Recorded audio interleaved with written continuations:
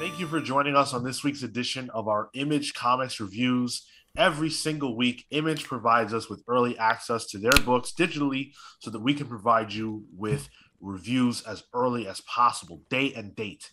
Thank you to Image for that. Uh, we are talking about the two books that we thought were most interesting coming out of Image this week. Uh, I am joined by Pete Yo. to talk about King Spawn number one and Made in Korea number four. One of these books is a tearjerker, and it ain't King Spawn. Uh, but before we get into What? reviews, it ain't it ain't King Spawn. King Spawn had me in tears, Sean. Yeah, yeah, I bet.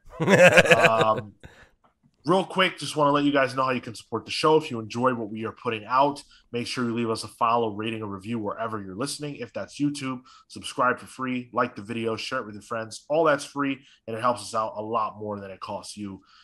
Make sure you're listening to our main show, The Comics Pals, which drops every single Monday. We talk about the characters that you love and all the places you can find them. We're doing news. We do some interviews as well. We actually interviewed the writer behind Made in Korea, Jeremy Holt, uh, a few weeks ago. So that's the kind of interview that we get on that show. If you want to check that out, we would really appreciate it. What a flex. So that's the kind of interview we get on that show, just so you're Oh, yeah. aware. Gotta let the people know.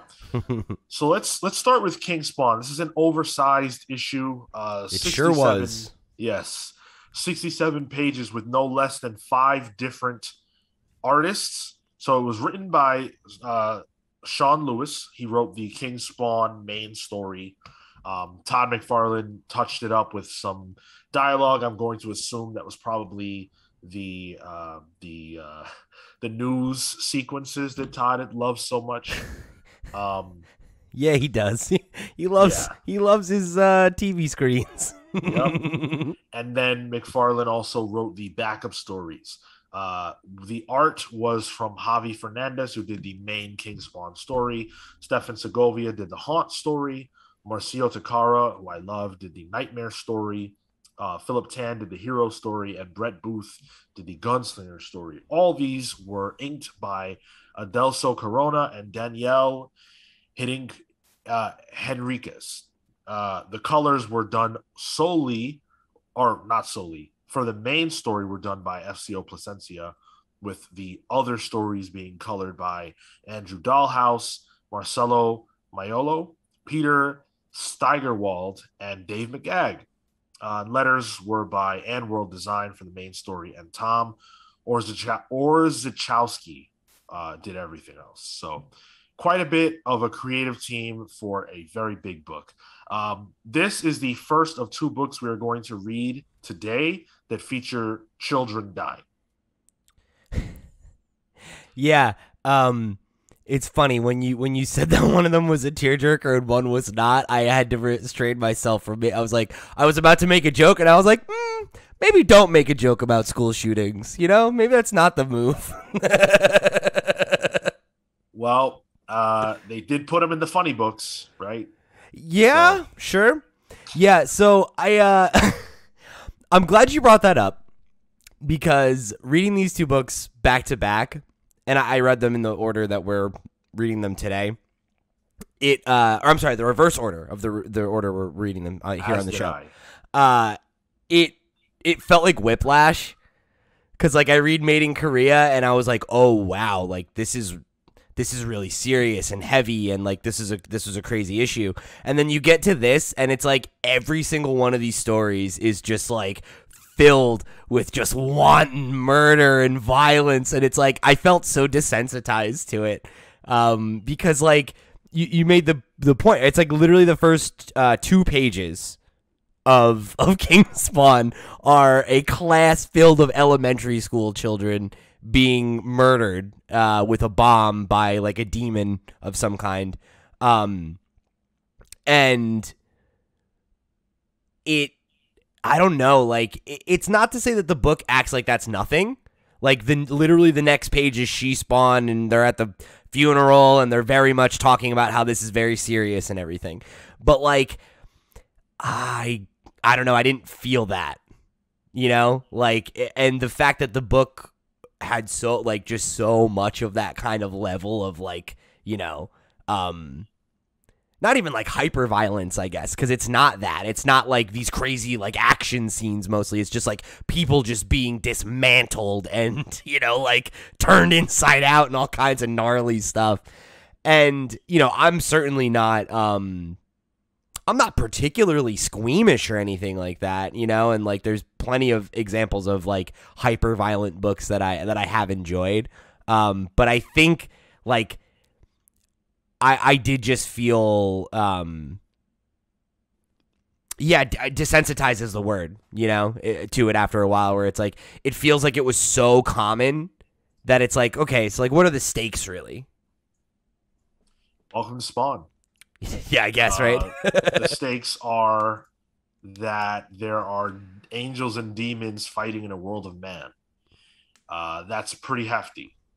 Um, and for the humans, the stakes are you can die at any second. For Spawn, that's the real question because he's the main character, right? And, Sure. that, and that's why, like, I love. Uh, I I really enjoyed this book. I I don't know if I've read anything by Sean Lewis before, but um, I think he was a huge step up from Todd McFarlane's scripting. Um, and you know, it's jarring. You're right, but like they say it in that scene at the um, at the gravesite, uh, it's all about Spawn. Like the kids Yeah. dying is not relevant because the people who are doing the killing are not they're not they're not they're not connecting they're not connected to the world that we live in. They're Right, connected yeah. to heaven and hell. So kids dying for them is whatever. They're they have some other goal. And normally in a story that features an act like that like you think about uh, well the next book we're going to talk about or civil war is a good Sure. example it would be the catalyst for something dramatic you know? Whereas here it's another domino. And um i like it not because i like to see kids dying that's really heavy. I like it because it establishes or further establishes that you know this is bad. This is really bad. The humans have no chance to save themselves not even their children from what's going on. Yeah, yeah, and I, I definitely get that. Um, I, I think, I think for me, the the thing about this issue that I, I struggled with the most was that it was the anthology uh, style again, because I think, um, I feel like I, I just need something to grab onto, you know, and I feel like it's it, it it's just giving you glimpses of stuff. And when I get in the rhythm with one of them, it's like, all right, cool, that's it. That's that's your sample, all right? Come back for gunslinger number one, you know? And it's like, okay, like I get it. You know, like that's that's a totally valid device. Um and I, I don't even like mean to critique it for that. I think it was just what kept me from from connecting with it in a deeper way. You know, is like I don't really know who any of these characters are aside from their names and like their designs, you know? Um I don't know really like who they are, what's important to them, or and, and maybe this just isn't that kind of book, you know, and like and I need to just like get used to that, and like that's not that's not the rhythm of a Spawn book, you know. Um, but yeah, I, I don't know. Like I, I found myself kind of like struggling to orient myself in the story in terms of like what should I care about then? If this doesn't matter, what what does? You know? I mean, it matters, right? Like it matters to you. So if Yeah. if, the, if the children dying matters to you, then it matters. And Spawn cares. He clearly cares, but not like he cares in the sense that, damn, they're dead kids. This is messed up. He Yeah. makes a point to point out that the one woman is is weeping over her son, and he needs answers for her. Is and I thought that that was well done. well, is that she Spawn in that scene? Yeah, but they're they're talking about a person whose children died in the explosion. He says, uh, uh, "Let me see if I can find the the, the dialogue here." Um, I'm more concerned about that mother over there who has to deal with the fact that she'll never see her son uh, ever again. Right. So I'm just confused. Is that she Spawn and Spawn in the Together, scene talking? yes. Okay. Okay. Okay. I, I I I think I originally thought that it was she Spawn talking, and that this woman was another woman who was just working with her or whatever. So that was my. I was just confused. Um, Yeah. Yeah. So, yeah. So Spawn clearly cares. for sure. And- yeah, yeah, yeah. he's willing to do whatever it takes to solve this problem. The problem that he has to solve is not dead kids, it's the overall hmm war between heaven and hell. And I'm so compelled by that. Um I I love the kind of like um not nihilistic, but like jaded, for lack of a better term, perspective on both heaven and hell that this book has. Yeah, yeah. Um, this God that they refer to often is definitely, in my mind, like Old Testament. I don't give a shit about my creations, God. Uh, and I, I'm here for that. Um, I can't wait to see how this unfolds. This book is crazy. Like, I, I never thought, like, I have always liked Spawn. I didn't know that I would like the comic book this much. This is so cool. I'm glad. I'm really glad you're having fun with it and and and getting into it super deep. I uh I definitely am not there with it, but like I don't know, like it's it's fine. You know, like I I I wasn't like super turned off by it. It was more just like I feel like I have a lot of questions and like Good. And and yeah, I guess that is a good thing. It's just kind of funny because I remember when we read um whatever the the precursor was to this that we reviewed. Um, I remember like and like I, you know, I showed my cards of how little I know about Spawn in that episode uh, or that review. But I thought it was funny how many of the comments were like, "Don't worry about it, just read it. It's Spawn." And I'm like, "Okay, maybe that's just what I need to do. Is just like get just get in for the ride and just let it go where it's gonna go, and like trust that I'm gonna figure it out, or or not." or maybe yeah maybe it's not for you. Maybe this isn't your bag. For me i'm in.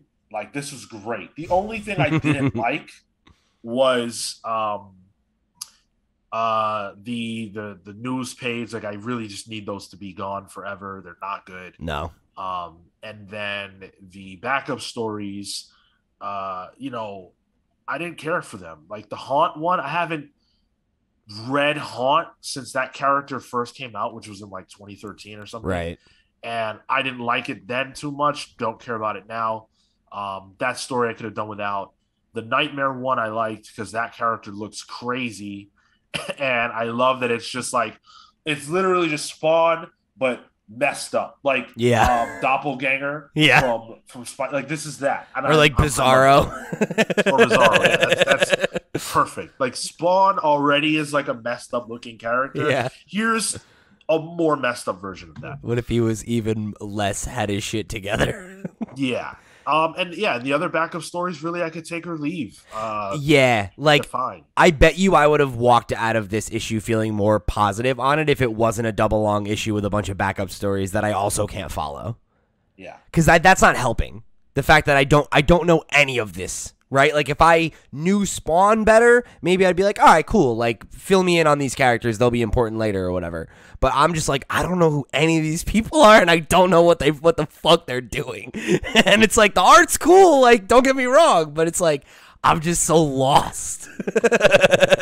you mentioned the art man oh man this the first story the the main story is beautiful It's crazy, yeah. There, I wow mean, I yeah the the scene we were talking about earlier where they're at the um the the not a funeral it's a it's a they're at a cemetery yeah. um and the first page where it's Sean, uh I almost said Sean Spawn and he's the top of him is like shrouded in the shadow oh and it's just the cloak like that's so goddamn cool like uh, you know whatever your feelings are about spawn as a, a character or a brand or whatever i like what a cool fucking character design he has you know?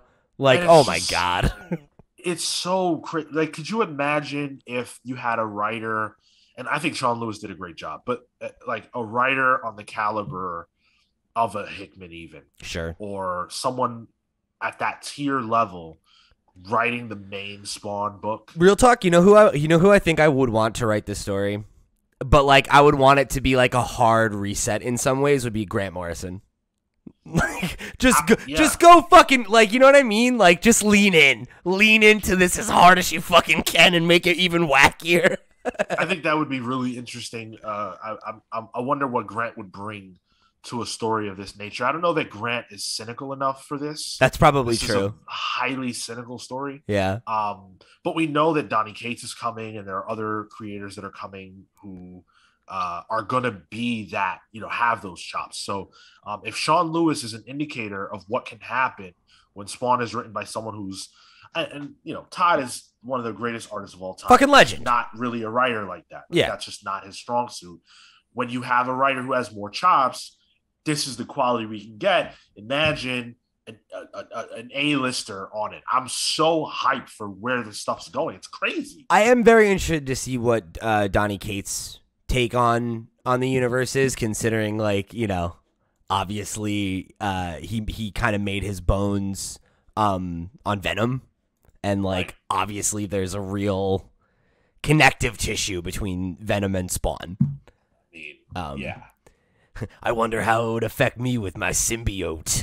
it's like, yeah, yeah. I mean, that's what I'm saying. You know, D- Donny Cates likes his edge lord symbiote characters. I feel like he's about to he's about to make this pop off. I'm with you on that, and I I I can't wait to see that. Um, Yeah.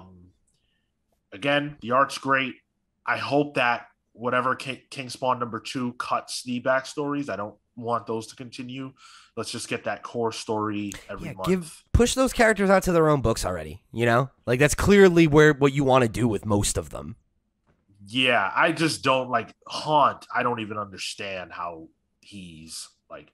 I haven't read Haunt in a, almost a decade, so I clearly am. I missed the boat. I don't know how he's involved. I didn't know he was a Spawn character. Isn't that that character that I thought is Robert Kirkman co-created with him? Right? Yeah. Yeah.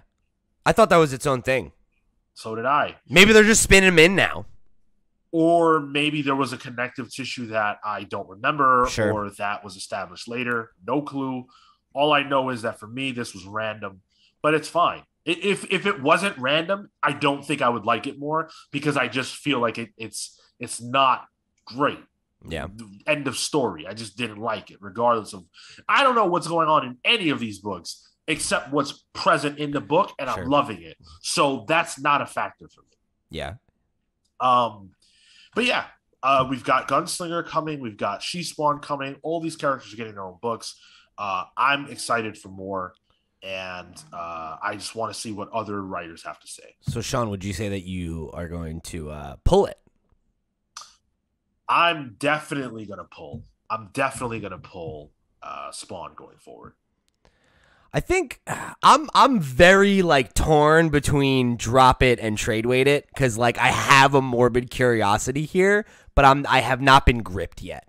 But the thing is, with the beauty of like Image sends us these books, so I can read them for free and feel no guilt about that because we're here to talk about them. So like, I I don't really feel comfortable st- staking any of the monikers we've given on this book yet. I feel like I need a little bit more time with it.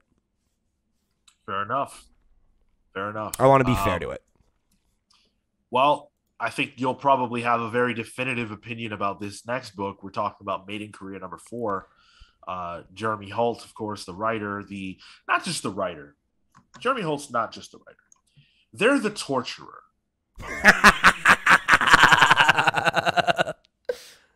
Jeremy tweeted, I believe it was a tweet, something to the effect of I'm sorry for the events of Made in Korea number four.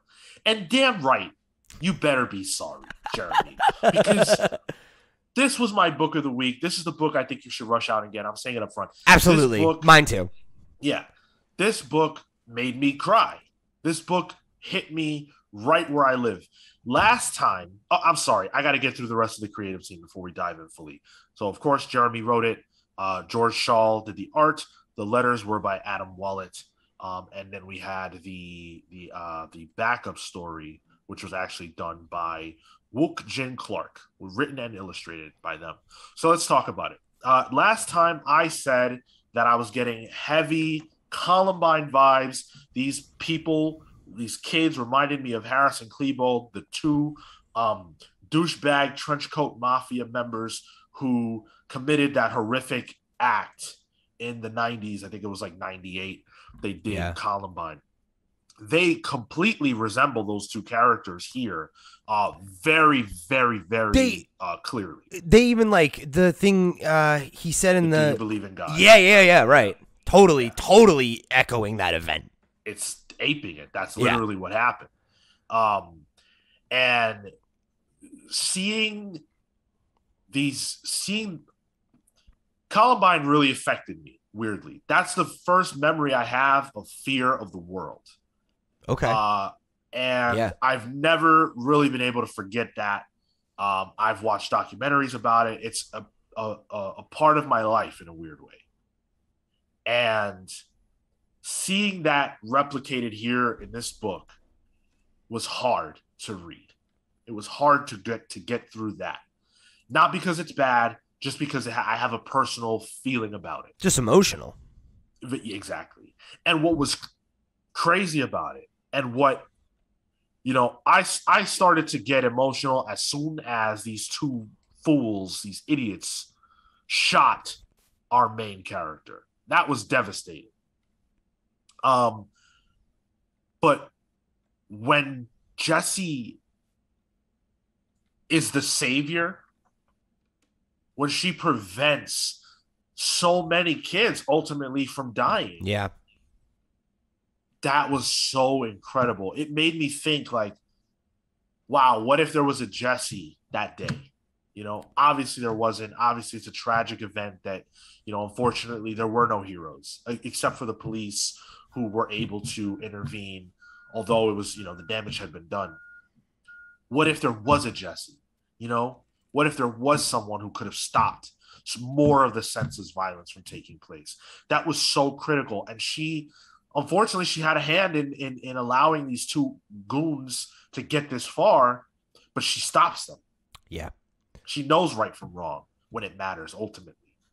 I I found that to be really compelling because you know obviously um I yeah I guess it's the end of issue two is where we have the tease of her like hanging out with these kids and I remember reacting to that issue when we did the review and being like uh oh like this is this really can only go poorly you know and like Yeah. and I I had a lot of different theories about how it might play out but I remember when it was like that they were teaching her to use this gun and all this stuff it was like uh oh, like that that feels like this is going down a dark road for that character. And like ultimately it did go down a very dark road, not what I had predicted necessarily, but um but I loved that when presented with that uh that darkness, right? Like she um she makes the right choice, right? Like you said, she has that that moral center um that comes through and you know like you said, like obviously she inadvertently played a role in, in kind of setting these actions into motion. Um, but you know, she's innocent, right? Like she's a kid. Um, she she has she doesn't have that context, um, and was fooled, you know, and like the fact that you know, who, who's to say where it's going to go from here? But the fact that she had that negative experience and you know, um, still chose to do the right thing rather than allowing that to, you know, that betrayal um, to take her to like a, a, a more violent place, right? Um, than she had to go, I guess, to end the conflict. Uh, I, I found that to be really uplifting, you know, and like that being the conclusion of this otherwise really heavy and dark issue. Um, I thought was really, really artful. I thought that was handled really well um, because I think this book has been a book that is that there's a lot of darkness under the the surface. There's a lot kind of brewing, and not to say that I was like worried it was going to jump the shark or anything like that, but I didn't want it to have like a hard pivot moment. You know, I didn't want it to become a book that just became doom and gloom. Um, and seeing how Jesse reacts to this trauma and you know overcomes it and and turns it into something positive um was really really nice to see you know it's like it's the kind of story i really respond to Yeah, I, I, I agree with all that. Uh, I had a it was hard to to to read, especially when she gets shot, and those you know that diagnostic uh, that was running. I know, loved that page. Systems back online. That was great. That was well done, and it really kept me on the hook. Um, I wish I read this physically uh, to see those pages in physical. I will still, of course, purchase the book, but um, it was it was like, oh my god, is she even going to wake up from this? We know that her creator is here, um, so maybe he's going to find her, and like, you know, I had so many thoughts going through my mind, and uh, I just think it's such a, a mark of a great story where you know it could go so many different ways from panel to panel from page to page this thing Yeah. could, could shift and that's that's amazing Yeah, I mean, it speaks to the fact that like the story has heat, like it's kinetic, you know, like it's it's it's not a, a story that I, I think you could at all um, criticize for moving too slowly, but it also doesn't feel like it's breakneck, like it's taken Right. its time when it needed to, um, which has made issues like this. Right, like this issue stands out. This is the this issue is the first one that really has any major action in it. You know, like yeah most of it has just been talking implication like you know thought experiments things that are getting you on the hook and selling you on the world and everything and for this to be the moment where like things are finally escalating as we're kind of nearing the end of the first arc it just feels like such a perfect pace you know? Like it, if it hadn't picked up in this issue i certainly wouldn't have been complaining.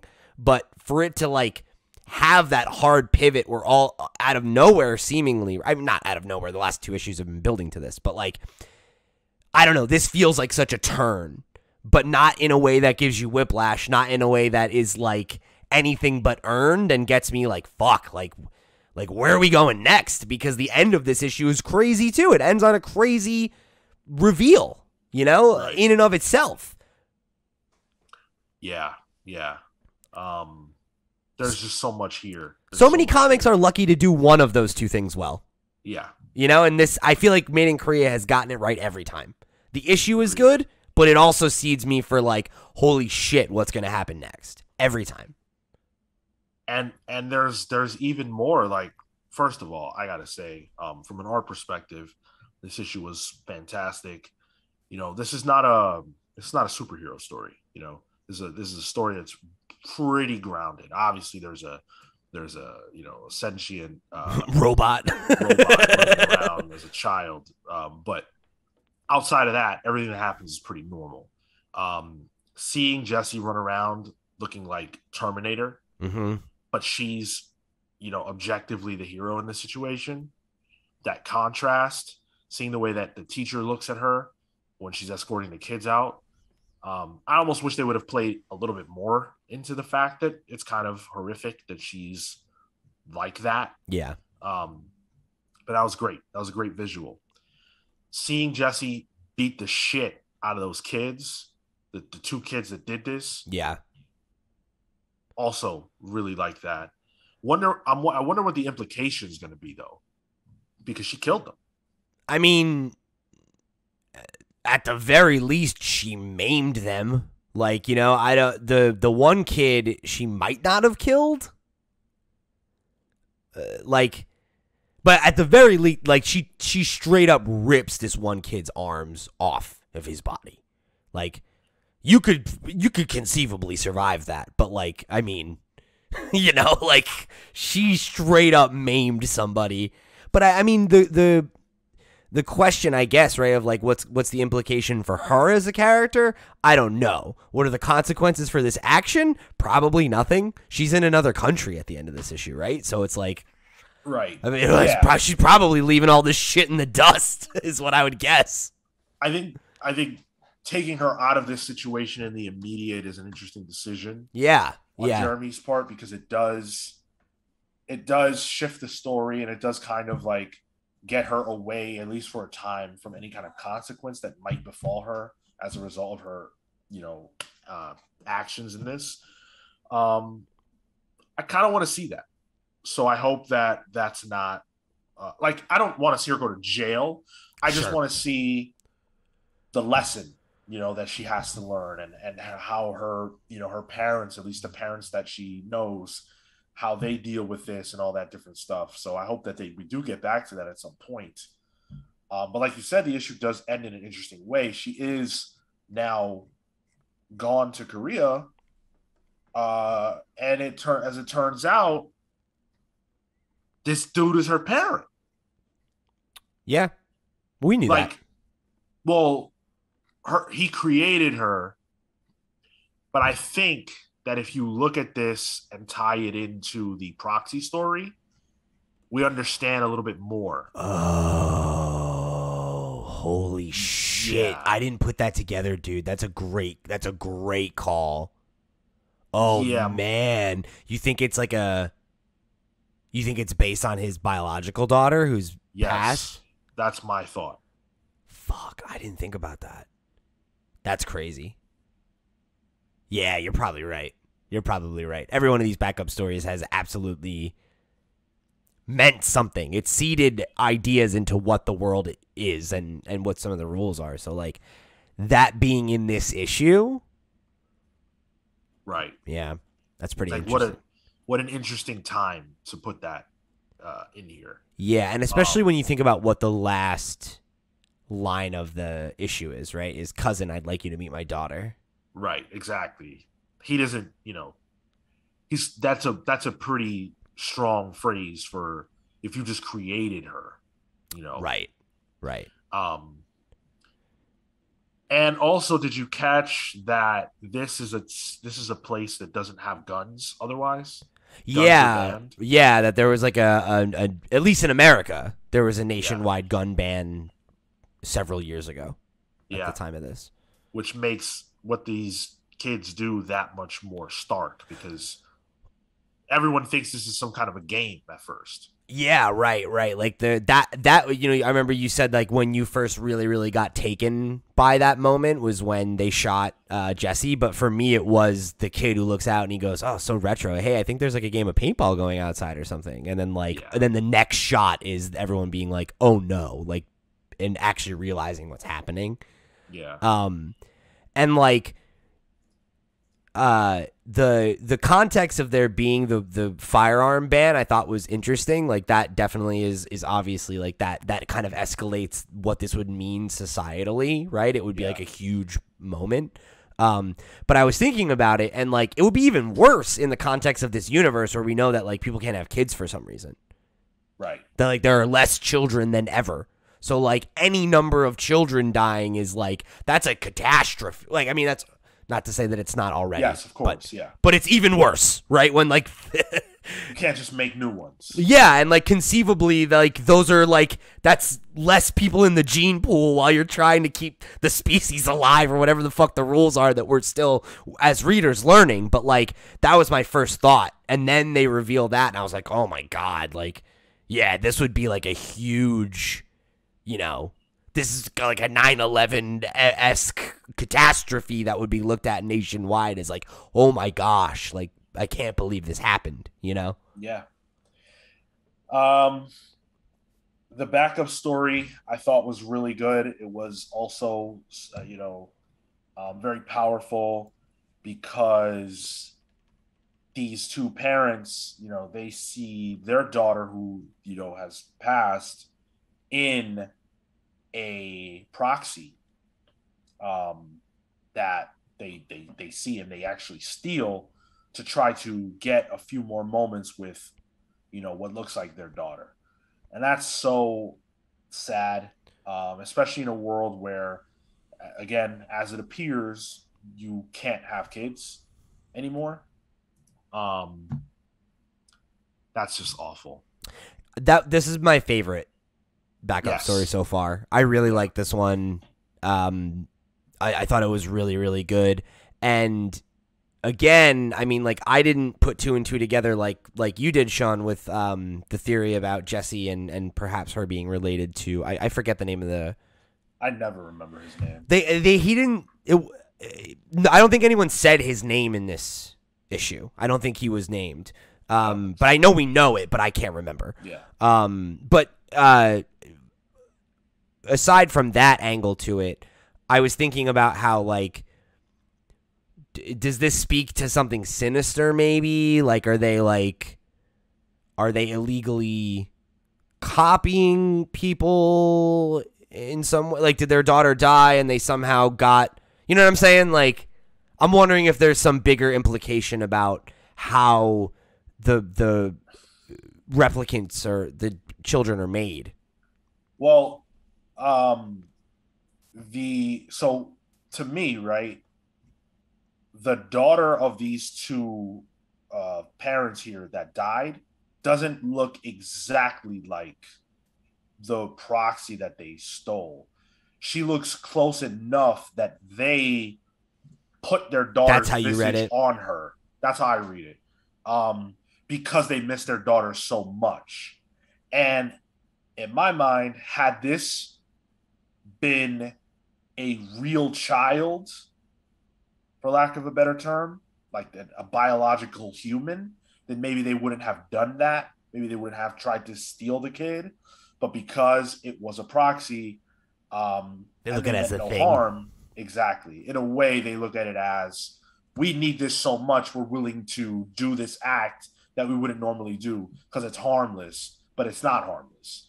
Yeah. Um, and so it was a sad story all around. I don't think that there's not merit to what you're saying because this would make the second child who presumably looks like an actual human. Because if my theory is correct, then this engineer who created Jesse created her in the visage of his own daughter.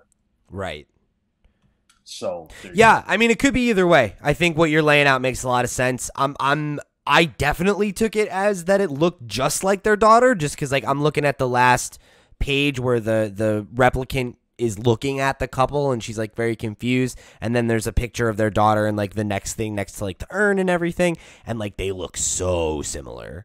But like it, Yeah. that doesn't mean anything. Like you could be right that it is just a projection thing and and I mean either way it's it's a good it's a really really good little backup story and I think it deepens the our understanding of the world and our ability to like emotionally orient ourselves in this time and space and what these people are going through uh, day to day. So I I mean either way I really dug it, but I feel like one of the two things we laid out is probably true and we'll have to see where that where that lands us, but I I'm s- also think it's worth, for the sake of conversing about the uh, the proxy story, um, the two parents who steal her, uh, they the way that's presented is they're having a blast, right? Like they're having a great time in the park, running around. yeah. But when they get arrested, the proxy doesn't look happy at all. Is she unhappy because she was scared, or is she unhappy because these two got arrested when they were just having a great time? That's kind of how I read it because it, it reminded me of how Jesse had that moment in this issue, right? Where like she's all having fun up until someone starts bleeding and she's like, what's going on? Like they have that lack of social awareness where like if if she was just having fun and they were playing and everything, she's like, oh, like why are those nice people like being hurt? You know? Mhm. That's kind of how I was reading it.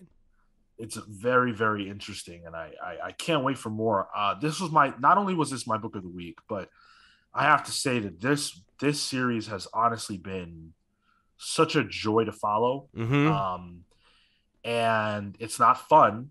It's not a fun book. It's a heavy one but it's really really amazing. And i can't wait to see what uh jeremy holt has in store not just in this series but beyond this book as well. I highly recommend that you catch up. It's only the four issues so far um and we know that it's going to end shortly Is five So- the last one of the first arc or is it six? it's five or six. I can't remember myself. Um, but it's worth your time. I, I, I assure you it is. Um, I've so yeah, told every comics reader in my life that if there's one book you pick up this year, it should be Made in Korea. Um, and that's not to den- there's some. I say that in because it's an esteemed company. You know, there are some great, great new series out this year that I love and I would I swear by. But Made in Korea is something really special, and it's a a, a new original idea from not a new writer, but somebody who is, you know, finally getting over and with good reason. I am Yeah. consistently impressed by the work that Jeremy's done on this book, and like, I'm not only excited to follow this story to its completion, but you know the the where their career goes from here because I hope it's only up because uh, they've impressed me with every issue of, of Made in Korea. I could not recommend it more highly. It's it's also worth. Uh, you asked how many issues? It is six. Nice, good. I'm glad we have. I'm glad we have two. Yeah. Uh, that's going to do it here for our reviews. Hopefully, you enjoyed them. If you do pick up these books and you like them, let us know your thoughts. Uh, we always appreciate hearing from you guys. Thank you to Image for giving us these the early access to these titles. Uh, and if there are other books that you want us to review that we're not, write in and let us know. We are open to review whatever it is that you guys are interested in because ultimately we're doing this for you. Uh, so to support us, make sure you hit that follow button, like the video, share it with your friends, subscribe for free. All that stuff's free to do, helps us out a ton. Uh, we appreciate all the support. Listen to our main show, The Comics Pals, which drops every Monday. This is Wednesday's image reviews. Thursdays, you can find our reviews for everything else. Um, so if you guys are into it, make sure you support. We appreciate it. Thank you so much for listening. Until next week, take care, guys. See you next week.